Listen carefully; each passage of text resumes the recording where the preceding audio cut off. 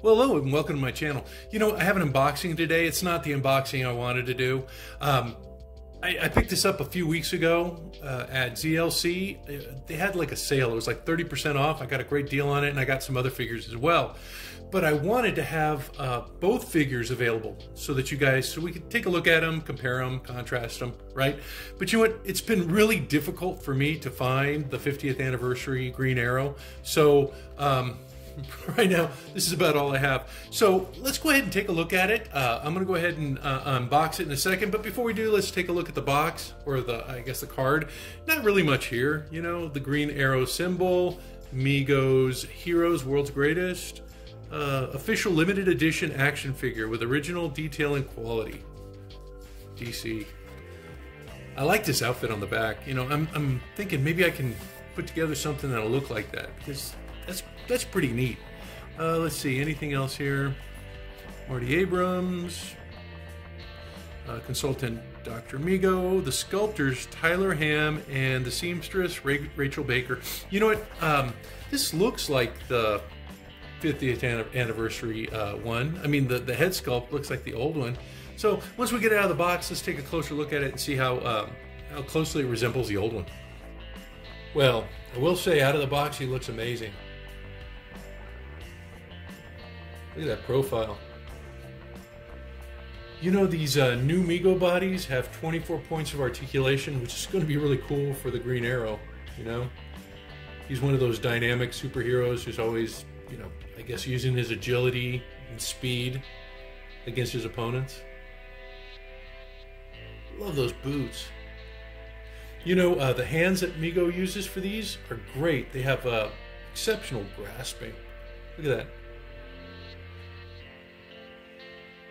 Uh, I am a little concerned because you know what, um, like like most of you guys, I had to be really careful when I first figured out the placement of the joints because if you're not careful, you can snap them. But I am concerned about this. I don't know if you can see it, but the waist is super wobbly. I'm a little worried about that. I wonder if there's a way to tighten it up. If you guys know how to tighten these bodies up, please let me know. Because I mean, yeah. That's that's pretty wiggly. You know what I did do though? Um, I managed to pick up a couple of things from from other sources. I've got a, a backpack arrow uh, case. I've got some green hands.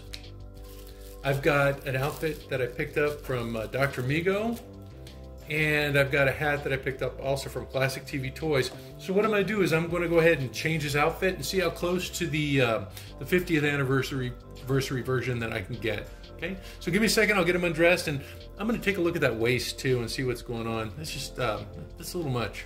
Be right back. Well, since I have him apart, I thought I might as well change his hands because I wanted to change his outfit too. Uh, so let me go ahead and change those hands. And to change the hands out, it's pretty simple.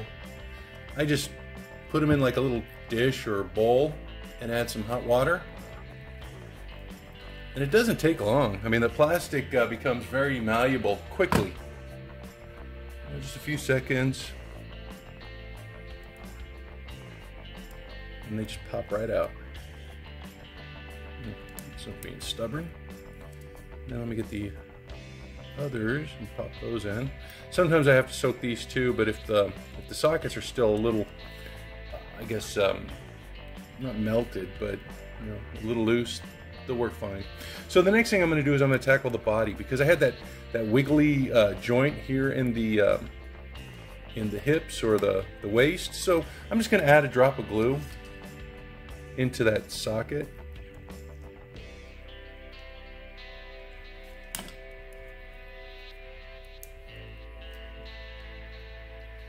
Put it in there before it hardens. Yeah, pushed out all the excess. So yeah, you know that's that's a that's a tight waist now. Oh, okay. Next thing I'm gonna do is I'm gonna get him dressed in my new outfit and check him out. So uh, give me just a sec. Well, I got my Green Arrow, uh, I guess, kind of modified, right? I took care of that wobble in his waist. You know, it's not wobbling anymore. and he still has that cool range of motion. So just a little drop of, of um, hot glue in there just did the trick. And then I was able to put on some green hands because I wanted to change out his outfit. I mean, there's nothing wrong with this outfit. You know, the Topps outfit's really, really cool. It's got some vinyl cuffs here. I love this hoodie. This hoodie is just, I might just use this hoodie in, in my new outfit. But really neat piece. Uses Velcro. And then it's got the, uh, I guess, neon lime uh, bottoms and a really cool quiver. It also comes with an excellent bow. Bow is really cool. And I really love these boots. I think these boots first appeared with the um, Legolas figure and the Aragorn figure for Lord of the Rings. Really neat boots. I never got those figures. I'm to see if I can find them on the secondary market. But um, what I wanted to do was I wanted to have my one figure and outfits. Now, you know what? You know, it's difficult to find the 50th anniversary Green Arrow. I mean, you can, but you're going to pay some money for it. And I thought, nah, if I'm going to pay some money, I mean, this is a little cheaper route, honestly. But if I'm going to pay some money, I'm just going to get another outfit. You know, I've got the figure. Might as well just, it's easier to store an extra outfit than it is an extra figure. So I thought I'd do this. I thought I'd get the, um, the Dr. Mego suit. And I was very pleasantly surprised by not only the stitching, really neat with a little turtleneck, but the velour uh, cuffs this is so reminiscent of the old one. You know, if you had this guy um, back in the 70s, uh, early 80s, you know, you know what I'm talking about. They had the velour on there. Really traditional, old school. So this might actually work out better for me because I also like the snaps. You know, the snaps were something I remember doing as a kid. You know, getting your outfit on and then using the snaps to, to I guess, complete the, the look or whatever, get it on. But really, really happy with this outfit. It's gonna look great on him. I also managed to pick up a, um, a hat from Classic TV Toys. This hat is made out of rubber. It's a little bit more um, pliable than the boots are, but it looks like the same color. It looks spot on. The boots may be a tad lighter, but when you have the separation between them, you can't even notice. Same thing with the gloves. You can't even notice that. And then to complete the look, I got this um, quiver. This, well, it's not really a quiver. They call it an arrow case. And I had to get my heat gun out and bend it just a little bit, just so it would contour his back, because it was not. It was flat, and when I did a test run to try it on, it was really kind of like bulky in the back, and it didn't. Um, it didn't really fit well. So, this is going to be the uh, the quiver that I'm going to use. It's kind of like the old school uh, quiver case. So now that I've got his gloves on, fixed his waist, let's go ahead and get him dressed. And you know, um, like I said, this this reminds me of my old Megos, you know, when I would swap outfits and stuff, or, you know, Action Jackson had a, had a variety of different outfits. But this kind of like brings me back. So, slips right on. Looks like the fit's perfect. Well, it should be, right? So you know, I would use um, I would use Dr. Mego's uh, website as a source for this outfit. I don't think you'll be disappointed at all. Even if you got the new 50th anniversary guy, I would I would still probably get this outfit. You, will get it, and you'll be um, you know if you had the old guy, you know, it'll be brought, brought back 50 years very very quickly. Some of you guys don't open your figures. You know, you just collect them. So maybe just to have it, just to have it, I guess. I don't know. I mean, not the figure, but the outfit. I can understand the collecting, you know, and keeping it pristine. Hopefully your kids appreciate Mego figures or grandchildren will come along and tear it up for you. There we go, snap. Really cool, look at that. And again, be mindful of the joints where they are because you don't want to snap your, your figure. But look at that. and I'm not even done. Let me go ahead and get those boots on. They should slip right over the footsies. And they do. Wow. Neat. Let me get that arrow case on. And um, as I said before, I contoured it, so it should fit really, really nicely. Let's see if I can get it over these little epaulets or whatever they are. Not epaulets, um, I don't know, just shoulder, I don't know. Okay, got it on here. Oh, I might have to adjust the waist. But really happy with that velour.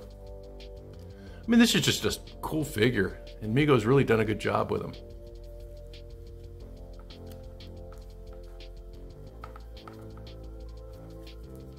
Wow. What do you think? Really cool. Hmm, let me get his bow. Let's see, I would hold it in the right hand and pull with my left.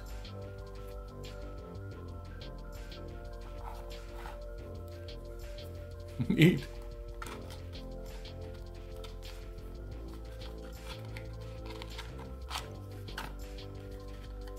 How's this gonna go?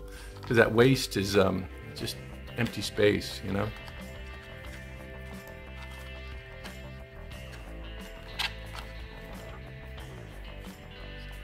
Might have to do a foot stand or something. Oh, there we go. Oh, maybe not. I saw somebody with a, uh, a foot stand on a, on a post that they put on Facebook, and I thought, what an interesting concept. And then I went to look for a foot stand and I couldn't find one.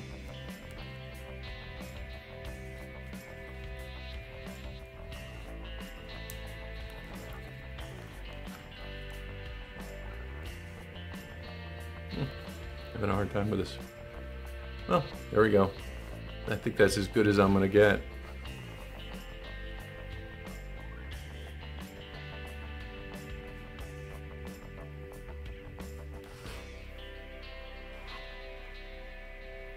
but really happy with this guy. It's my version of the 50th anniversary uh, Green Arrow. You know, I, I, do want to get some other figures too. Um, let's see. I think the next one I'm going to get is probably the um, the Green Lantern before he dries up. Both versions, right? I did get a um, a Green uh, Lantern outfit, you know, so I, I want to get the John Stewart version too. But yeah, really happy with this guy. So, you know, they do have um, some of the ZLC, ZLC has some of the um, the Topps versions left still. So, you know, you may want to pick one up. And if you um, if you want an old school ver version, this is kind of like uh, an option for you. And you'll just love the velour that's here. These accents on the cuff and on the shoulders.